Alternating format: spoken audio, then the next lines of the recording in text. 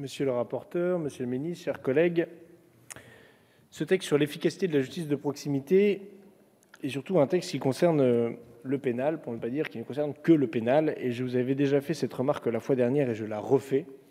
Euh, l'essentiel de l'activité judiciaire est une activité de justice civile. D'ailleurs, vous avez vous-même parlé, et le ministre aussi, de petits litiges. Et souvent, petit litige fait plutôt référence aux affaires civiles qu'aux affaires pénales. Rien n'a la matière sur le sujet et rien n'a changé euh, sur le sujet sur les affaires civiles euh, depuis, depuis la loi de programmation de la justice et on voit que les délais s'accroissent fondamentalement et j'y reviendrai dans, dans une deuxième partie.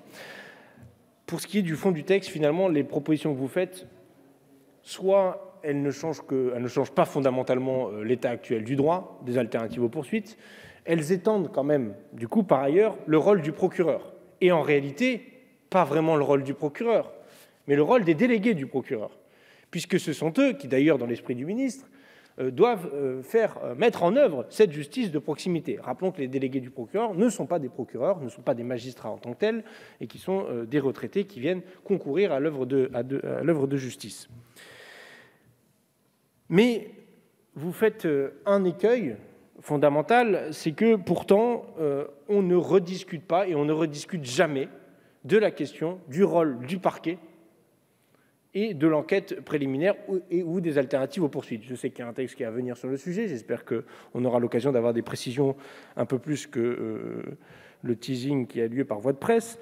Euh, mais euh, en tout cas, là, vous ne tombez pas dans les écueils de d'habitude. On, on, donne des pouvoirs supplémentaires au procureur comme si cela allait de soi et que c'était évident, sans avoir de réforme du statut du parquet, et sans avoir de réel débat sur la question des moyens. Je vous le rappelle et je le martellerai autant que de besoin, le budget 2021, c'est moins de création de postes de magistrats que le budget 2020.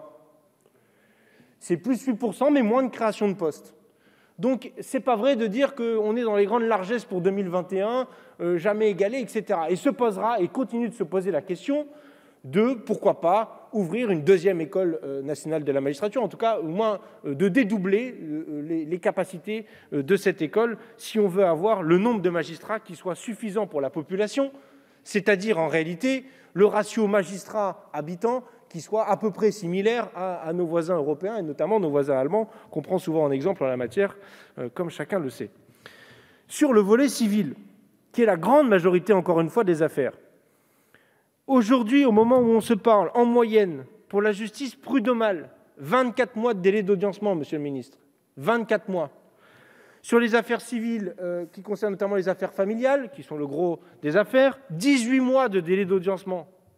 18 mois. Ce qui enquiquine le citoyen euh, ou la citoyenne aujourd'hui dans les délais de justice, ce n'est pas la justice pénale de proximité. Ce n'est pas vrai. Ce n'est pas ça la préoccupation première. C'est celle-là. C'est celle que je viens de vous dire sur la justice civile. Qu'est-ce qu'on fait en la matière? Où sont les greffiers? Où sont les greffiers dont on a besoin? Où sont-ils? On nous avait promis euh, des centaines de recrutements dans la, période Covid qui allaient résorber euh, les, piles de dossiers de la justice. Eh bien, écoutez, les piles ne se résorbent pas, les délais ne font que croître et augmenter. Parce que les moyens, vous ne les mettez pas au bon endroit, évidemment. Hein, c'est vrai que la priorité est la construction de places de prison, comme chacun sait. Hein, c'est la première priorité, le top priorité dont nous avons besoin dans ce pays. Donc, euh, à partir de ce moment-là, euh, évidemment, pour tout ce qui est du reste, eh ben, on n'a a, euh, que les miettes. Et pourtant, il y aurait des choses à faire sur la réforme de, la justice civile. La réforme du décret Magendie, monsieur le ministre, par exemple. Parce que sur les délais de procédure, là où pour le justiciable, on lui dit écoutez, faut mettre votre dossier, en trois mois maximum, il faut l'envoyer, et derrière, le délai d'audiencement, c'est 18 mois, ou 20 mois, ou 22 mois.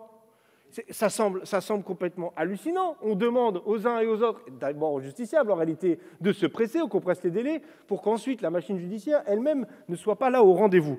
C'est à nouveau une question de, de moyens. Euh, visiblement, euh, ce qu'il y a ici dans cet hémicycle de par la majorité, c'est une confusion qui est entretenue systématiquement, que ce soit sur la justice des mineurs, que ce soit sur la justice pénale, sur la justice civile, en disant une bonne justice, c'est une justice rapide. Ce n'est pas vrai, la rapidité n'est pas le corollaire d'une bonne justice. Il, ne faut pas qu'elle soit trop lente, il ne faut pas qu'elle dépasse les délais euh, qui peuvent être problématiques pour le justiciable et pour le magistrat. Mais de là à dire qu'une justice rapide est une bonne justice, je ne franchirai jamais ce pas, parce que là, on rentre dans une logique comptable et gestionnaire qui n'a rien à voir avec l'idée de justice.